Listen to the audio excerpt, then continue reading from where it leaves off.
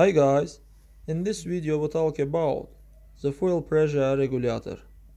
What is it for here? Friends, but before starting the video, subscribe to our channel, put like and don't forget to put a bell so as not miss new video on the channel. It's needed to maintain the fuel pressure in the fuel rail.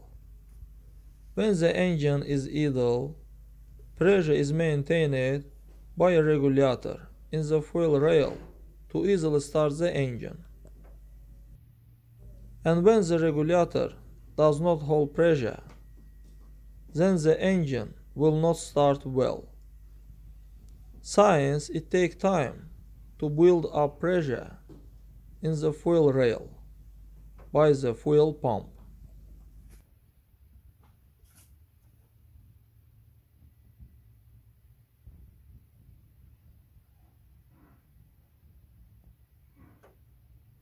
That's all guys. Subscribe to our channel, put like and don't forget to put a bell so as not miss new video on the channel.